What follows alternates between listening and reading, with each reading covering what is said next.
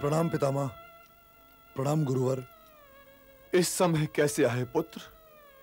मैं आपके पास एक निवेदन लेकर आया हूँ पितामह। अब और क्या चाहते हो वत्स? यह तो आप जानते ही हैं पितामह कि युद्ध की तो ठहर चुकी है। इसलिए मैं आपसे अनुरोध करने आया हूँ कि आप हस्तिनापुर सेना का प्रधान सेनापति बनना स्वीकार करें। इस सम्मान के लिए अपने गुरु आचार्य द्रोण को आमंत्रित क्यों नहीं करते पुत्र? अब आपके होते हुए?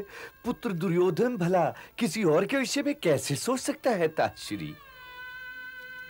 पितामह जब तक आप स्वीकृति नहीं देंगे मैं आपके चरणों को नहीं छोड़ूँगा। उठो वत्स उठो। मुझे ये उत्तरदायित्व स्वीकार है। पितामह। अब तो तुम्हारी विजय में संदेह ही नहीं है भांजे दुर्योधन। परंतु एक बात अभी ध्यान से सुन लो पुत्र दुर्योधन। पांडव भी मुझे तुमसे कम प्रिय नहीं है। फिर भी मैं इस युद्ध में तुम्हारे साथ हूँ। मैं प्रतिदिन उनके दस हज़ार योद्धा और सैनिकों का वध भी करूँगा। किंतु अर्जुन फिर अर्जुन है वत्स। वो मुझे पराजित भी कर सकता है। और मेरी मृत्यु का कारण भी बन सकता है। आप अर्जुन की चिंता न कीजिए गंगा पुत्र। उसके शव पर मेरा अधिकार है। मुझे अपनी बात समाप्त करने दो अंगराज। किंतु जिस सेना का सेनापति मैं हूँ दुर्योधन उस सेना में अंगराज कर्ण के लिए कोई स्थान नहीं हो सकता। वैसे भी हमारे बीच कड़वाहटों की एक नदी है।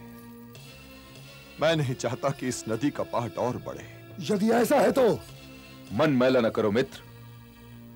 मैं तो स्वयं ही गंगा पुत्र भीष्म के ध्वज तले युद्ध नहीं कर सकता।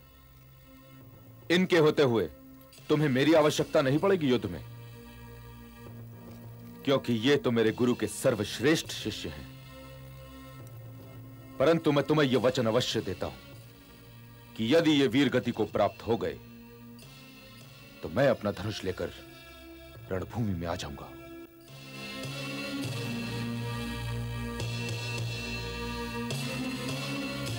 तो मुझे आज्ञा है पितामह। अभी मेरी बात पूरी नहीं हुई है वत्स। अभी भी कुछ कहने को रह गया है ताजश्री। हाँ गंधार नरेश अभी भी कुछ कहना रह गया है। मैं पांडु पुत्रों के प्राण नहीं लूँगा। यह तो बड़े आश्चर्य का विषय है गंगा पुत्र क्या आप सेनापति होंगे और शत्रुओं के प्राण नहीं लेंगे? दुर्योधन के शत्रु वे सैनिक नहीं है जो युधिष्ठिर के ध्वज तले युद्ध कर रहे होंगे। दुर्योधन के शत्रु वे राजा, महाराजा, वे योद्धा भी नहीं होंगे जो युधिष्ठिर की ओर से युद्ध करने आएँगे। दुर्योधन के शत्रु वे पाँच पांडव हैं और आप उन्हीं पर वाण नहीं चलाएँगे? मान लो मित्र दुर्योधन पितामह की यह बात भी मान लो। परंतु मुझे आज्ञा दो गंगा पुत्र क्योंकि मुझसे तो इस कक्ष में सांस भी नहीं लिया जा रहा। है अंकराज